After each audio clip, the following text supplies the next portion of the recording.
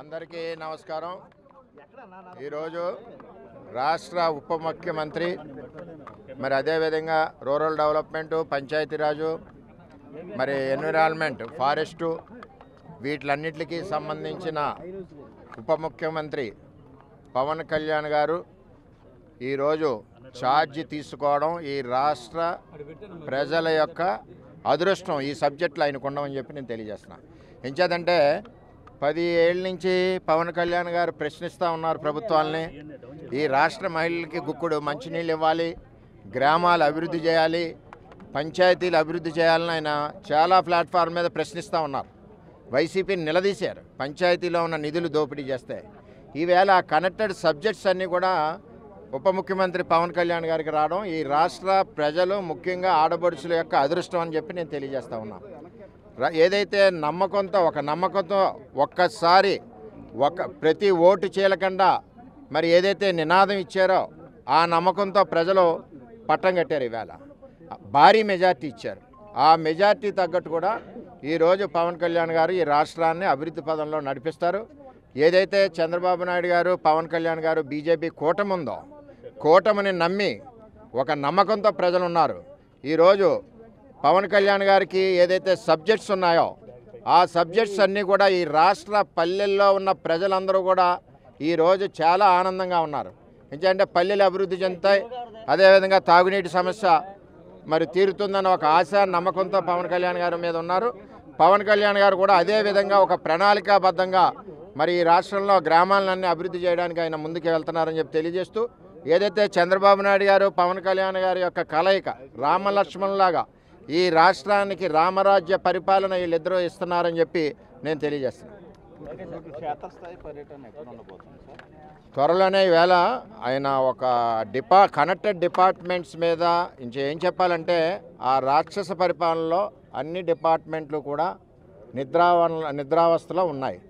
పవన్ కళ్యాణ్ గారు అన్నీ రివ్యూ చేసుకుని ఎక్కడ ఏ విధంగా ఇంప్లిమెంట్ చేయాలి ఎక్కడ ప్రాబ్లమ్స్ ఉన్నాయి అన్నీ కూడా స్టేజ్ వైజ్ మానిటర్ చేసుకుని అభివృద్ధి పదంలోకి ముందుకు నడుస్తుంది త్వరలోనే కూడా పిఠాపురం వస్తున్నారు. మా పిఠాపురం ప్రజల యొక్క అదృష్టం ఈవేళ పిఠాపురంలో మేము గెలిపించుకొని పవన్ కళ్యాణ్ గారిని ఈవేళ ఆ సీట్లో చూడడం నాకు జన్మ ధన్యమైంది ఎంతో ఆనందంగా ఉంది. నియోజకవర్గం అంతా కూడా అభివృద్ధి పదంలో నడుస్తుంది రాష్ట్రం కూడా అభివృద్ధి పదంలో నడుస్తుంది. వస్తారు. ఇంక ఇవన్నీ చూసుకుని ఒక డేట్ ఇస్తారు డేట్ ఇచ్చి వస్తారు. అందరికీ నమస్కారం ఎక్కడ క్రాంతి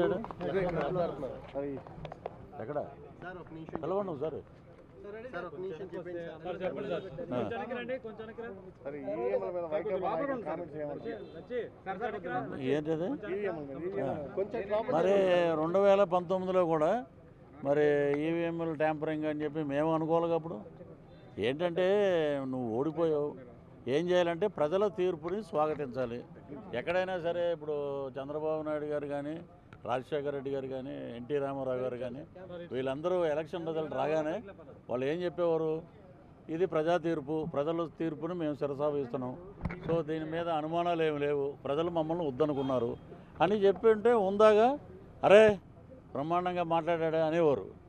ఈవీఎంలు ట్యాంపరింగ్ బీహార్ అయిపోయింది అంటాడు ఒకడు ఒకడేమో శ్రీలంక అంటాడు ఒకడేమో మేము మరి మీరు వన్ ఫిఫ్టీ వన్ అన్నప్పుడు ప్రజలు ఏం చేశారంటే వన్ ఫిఫ్టీ వన్లో ఐదు క్రెయిన్ పెట్టి లేపేశారు మధ్యలో ఐదుని పదకొండు ఉంచారు సో ఇకనైనా వాళ్ళు నిర్మాణాత్మక ప్రతిపక్ష పాత్ర పోషించడానికి పద్దెనిమిది కూడా లేవు.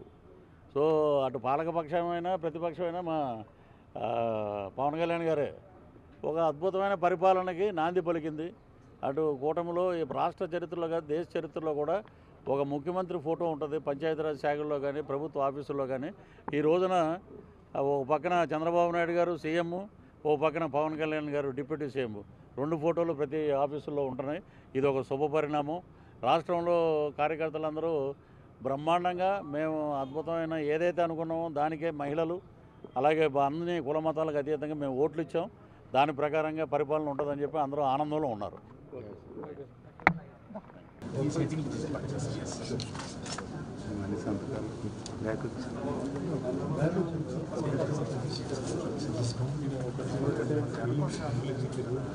అది కనుక నెంబర్ తీసుకోవచ్చు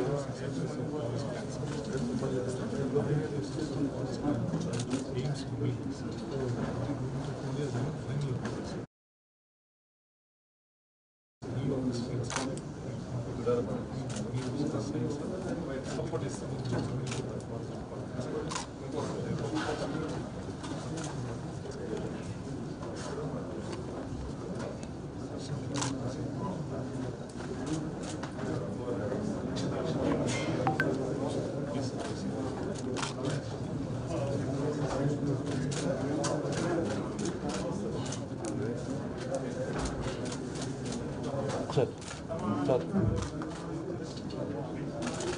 వెళ్తూ ఉంది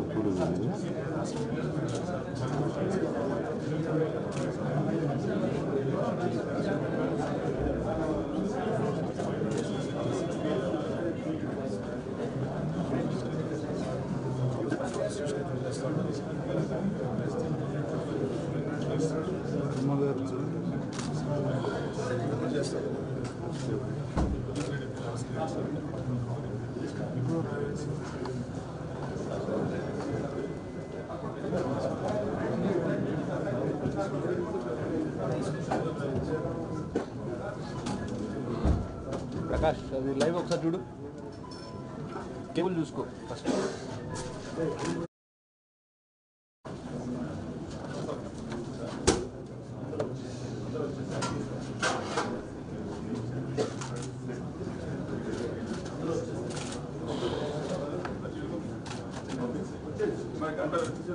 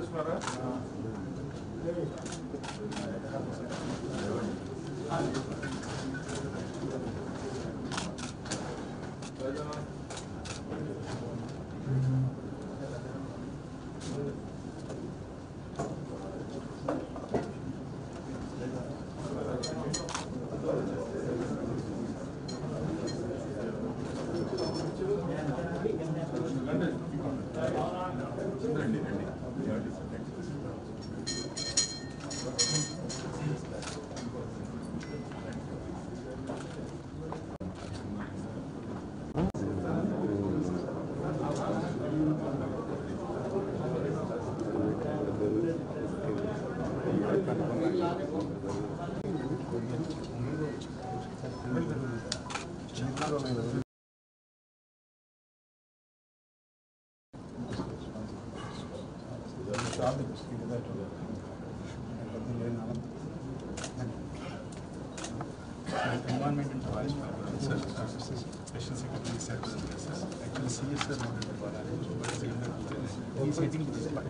this. అన్ని సంతకాలు లేకపోతే